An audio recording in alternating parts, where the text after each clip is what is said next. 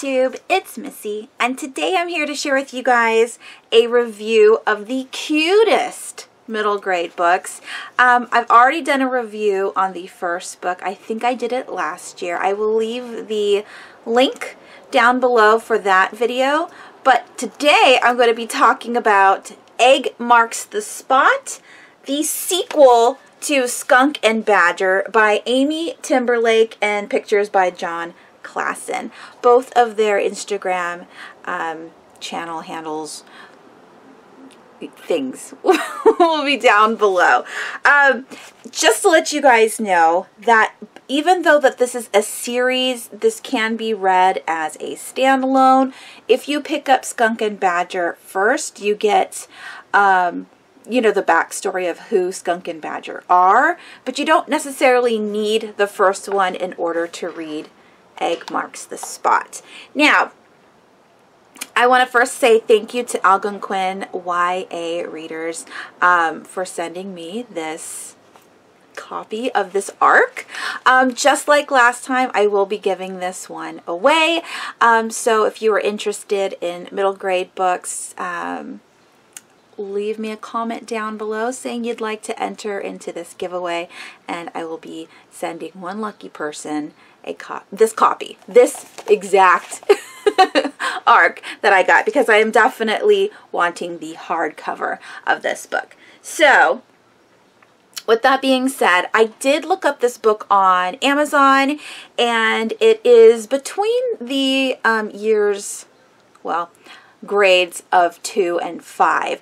Looking at the the words of this book and, um, you know, just working in the school district, this is a very high level second grader if they can read this. Because one just just one of the things that Badger says if you can read that it says Badger huffed Precambrian stromal strom strom strom I can't I can't even read it.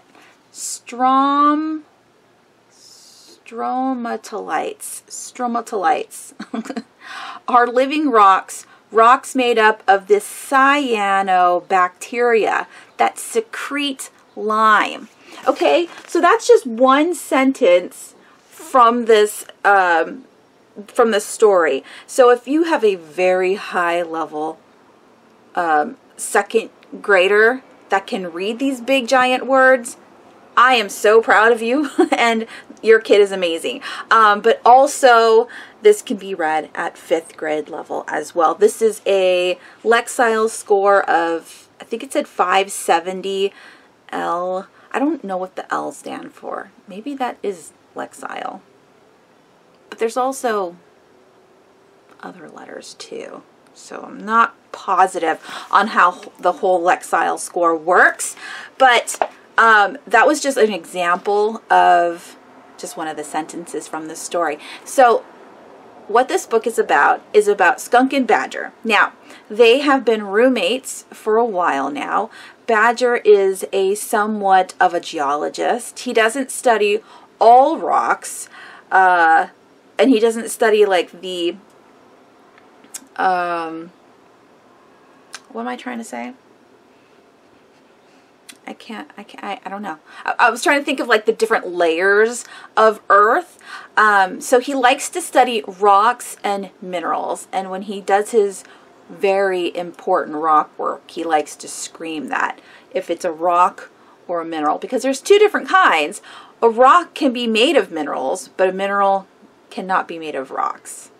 I think that's how it goes. But it talks about all of that in the book. Now, when we first um, start reading this, Badger's in his rock room and he's doing really important rock work and Skunk is bugging him. And when the door's closed to Badger's rock room, he expects silence and for him to have privacy and he doesn't want to be bugged. And Skunk's like, but I have lunch.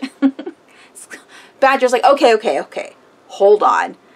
Because you have lunch and it's getting cold, you may enter my rock room.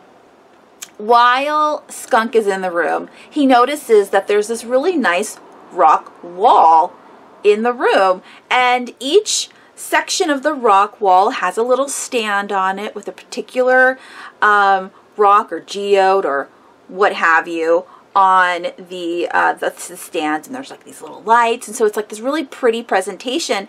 And skunk realizes that the A stand is missing its rock slash mineral.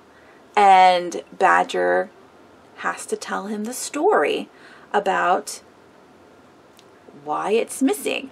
Um, which I I I felt like, oh my gosh, we have a really good villain. We have this this mean cousin of Badger who's a weasel. His name is Fisher. And he takes the rock in spite like they were at a family reunion. He doesn't like Badger. He especially doesn't like the fact that Aunt Lula likes Badger more. So he takes his agate, and it's his favorite because it's a spider eye agate, or at least that's what Badger calls it. And that is the, you know, this is what's driving the story. So Skunk decides to be a really good friend, and he says, you know what? We need to fix this. You're missing the A on your rock wall. Let's go on a rock expedition and find you a new agate. Who cares about your cousin? Maybe we'll find a better one. And that really pumps up Badger. He's like, ah, okay, I want to do that. I want to go on this rock expedition. And you know what? I found this agate, or the one that my cousin stole, at Endless Lake, at campsite number five. And I love that campsite. And I haven't been there in forever. And I need to do this. And so they get packing. Um, I love, because I am an avid camper, I also um, love hiking and my husband is obsessed with backpacking. So we have some of the equipment that Badger talks about like the titanium um, pots and pans or the titanium cups. Like everything has to be light. Everything has to be weighed. So that way not only does it fit in the backpack but it's not too heavy. So that way you can go on your hikes. And Badger knows this. He's an expert but poor skunk, he wants to bring his cast iron pan and um, all of these other utensils for cooking and so much of He has a five pound bag of flour and Badger is freaking out. He's like, you you're going to carry all this? Have you even tried to put the backpack on? so funny. I love the way they play uh, off each other. Badger's a very serious animal, and Skunk is every, you know, he's light and carefree and and he just goes with the flow. And so they have a very good yin and yang dynamic. Again in uh, the first book skunk and badger i talked about how it kind of reminds me of frog and toad from when i was really little. Now it's the complete opposite. They're they're on two different spectrums. Frog and toad kind of just hang out together. Um, Whereas, you know, it, skunk and badger, they're dealing with more um, social issues and, and other things that we um, deal with in society today, which I really enjoyed.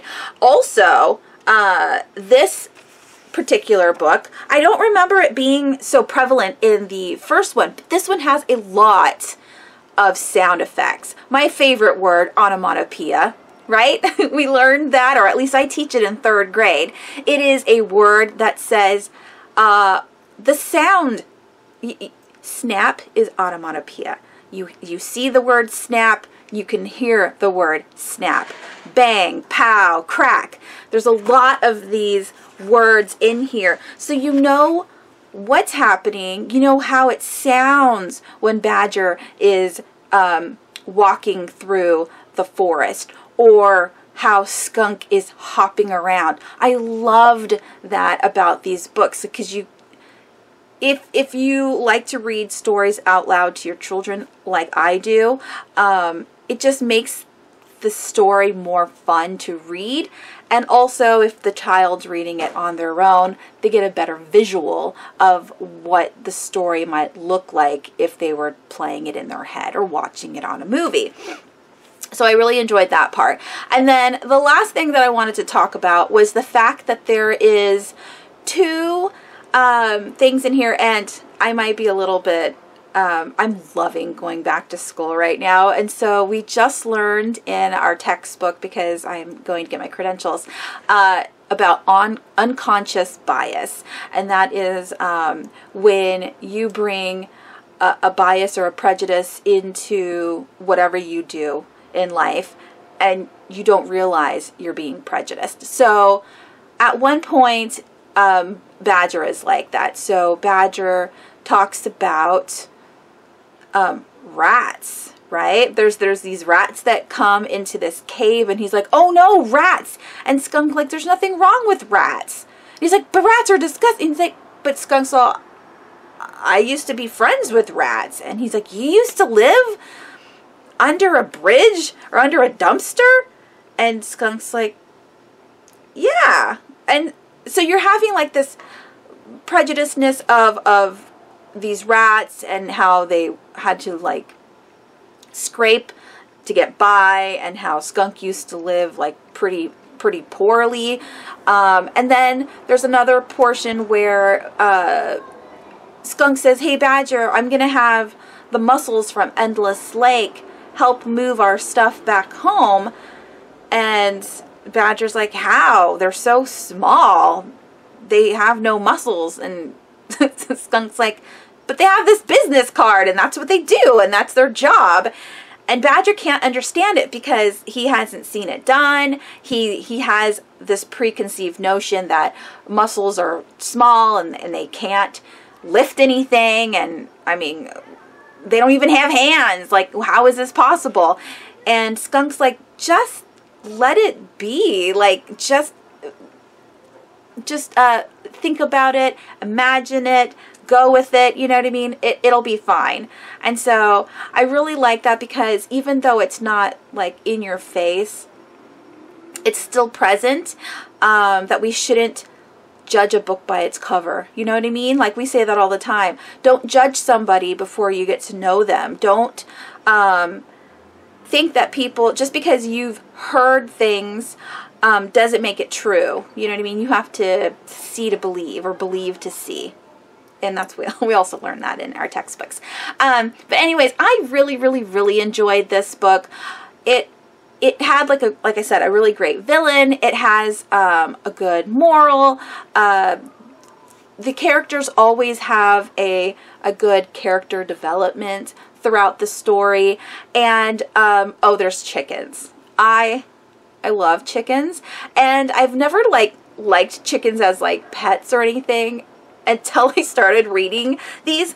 Uh, there's this person, and I put it in my, my Goodreads review, which I will also leave the link down below if you wanted to read my, um, my written review. But there is this author that writes the whole chicken biology, like, history of chickens. There's like over five 100 breeds of chicken. So if you really like chickens, this one goes a lot more into chickens, skunk and badger. Um, there's also chickens in egg marks the spot, but not as many, but there are still there in the book. So if you if you have chickens at home, um, you could relate and maybe you'll like you know like this book a little bit more because it's talking about what you have at home. Um, yeah, I, I really like it. Uh, both of these books talk about things that children might not know. Skunk is a really good cook. He likes to talk about his culinary skills, how he gets things um, where he gets his recipes, how he gets his ideas. Uh, in this one, it talks about the New Yak Times, how he's really into book reviews, and I'm like, yay, I like to read. So, I mean, Skunk is a really big uh, book reader, and it just, it has all of these things in it. You know what I mean? It talks about different kinds of mussels, different kinds of, of rats. There's the wharf rat, but it was also called something else. I, I totally forgot now. What? No, I almost had it. Um, it talks about just, oh, oh, and uh, my last, my last, last, last cherry on top favorite thing about this book is that the chicken talks in box. It goes bark, bark, bark, bark, you you get to actually like read it out loud. Bark, bark. Like so, I did that for my kids, and they laughed and they thought it was really funny. Um, so yeah, and there's pictures. Uh, this one, you you have like, you know, little little pictures of some of the story, which I really enjoyed. Uh, so again, I want to thank Algonquin for allowing me to read and review this book for you guys and be a part of their book tour. Um, I I cannot say enough how much I love these stories, and so yeah. If you guys want the arc for Egg Marks the Spot, if you think your child or maybe your grandchild might really like this book, or even you, if you like middle grade like I do, maybe you'll want this book just to read for yourself.